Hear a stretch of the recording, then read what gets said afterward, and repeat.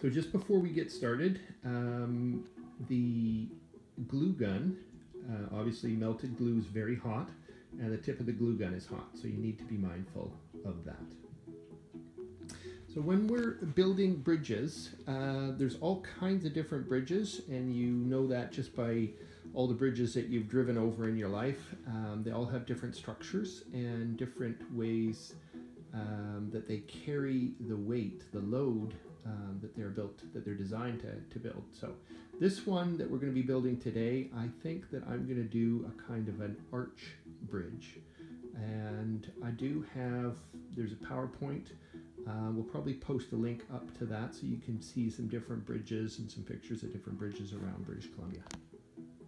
Hi there, my name's René and today I'm going to show you how to make a bridge using just spaghetti, regular spaghetti, uh, and a glue gun and some glue sticks. Okay, let's get to it. So I've just started working on the bridge and there's a couple of things that I should tell you. One is it's much harder to do this by yourself than working in teams, which is what we normally do. Um, so you just have to be really patient and careful with your glue dabs and holding and all that stuff. If you can do it with brother or sister or with one of your parents, um, that's great. Uh, and you should do that.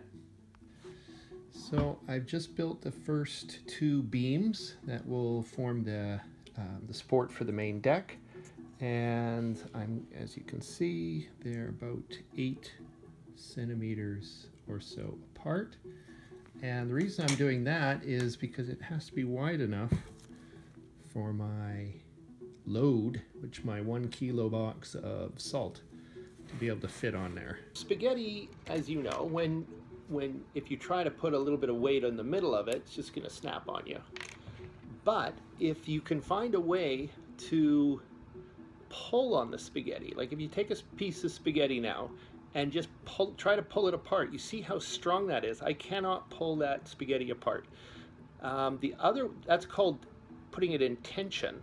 The other thing is if you try to compress it, you try to push your fingers together like that, you also can't really break it. So it's very strong this way. So the trick of bridge building with spaghetti is to try and figure out ways to use that strength in tension and compression um, to your advantage. I'm going to be building um, kind of an arch structure like this. Um, and uh, trusses, sometimes those are called, box trusses. Uh, I'm not sure if I'm going to do it like that exactly. I'll just start building it and see how how stiff I can make it so that it will hold the weight. Um, and we'll, yeah, we'll just keep trying. So I'm just uh, starting to build the upper part of the bridge now. Uh, this part is a little bit tricky if you're trying to do this by yourself. Uh, just holding the pieces and gluing. Um, so if at all possible, way easier to do this with somebody else. Basic shape is done. Uh, what I need to do now is test it um, with gradually increasing weights, see where it twists, where it moves, and strengthen it uh, accordingly. There is my bridge so far. As you can see, it is 50 centimeters long. That's the span. The bridge is a little bit longer, so it can sit on those two piers. Uh, it's pretty much ready to test. I'm going to try it first with a 200 gram weight and see what happens. There we go. 200 grams. No deflection so far. And here we go with 500 grams. And you'll notice the bridge is moving a bit, a bit more than I would like. So I got to stiffen that up a little bit.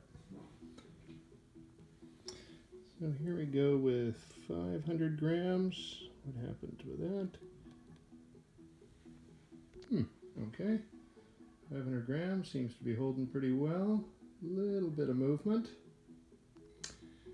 Bridge is all done. I'm going to weigh it now and uh, see how much this thing weighs.